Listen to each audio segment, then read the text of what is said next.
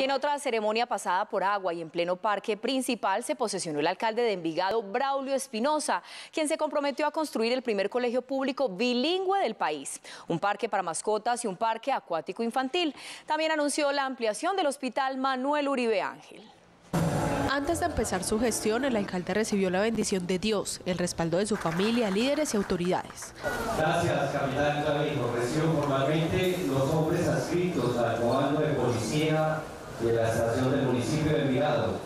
La seguridad es una de las prioridades en la lista de compromisos del alcalde para los próximos cuatro años. Vamos a redoblar esfuerzos de manera mancomunada para atacar pues el microtráfico, el hurto en las calles, robo de celulares, robo de carros y de motos que nos tienen altamente golpeados en todos los barrios del municipio de Envigado.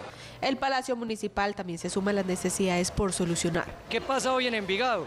Pues la gran mayoría de las secretarías, aproximadamente el 70%, no están en el Palacio Municipal, sino que están por todo el territorio envigadeño y eso dificulta enormemente el poder atender de manera eficiente y eficaz al ciudadano envigadeño. Como su principal apoyo y mano derecha estará su esposa con otros proyectos. En este momento tenemos la fortuna de crear la dirección de infancia que no existía y vamos a fortalecer la dirección de juventud.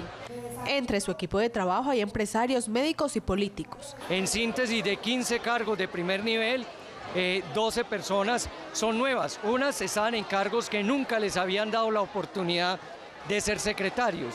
Solamente tres repiten de esta administración. El alcalde admitió que recibió el municipio en muy buen estado financiero, con ingresos de más de 200 mil millones de pesos.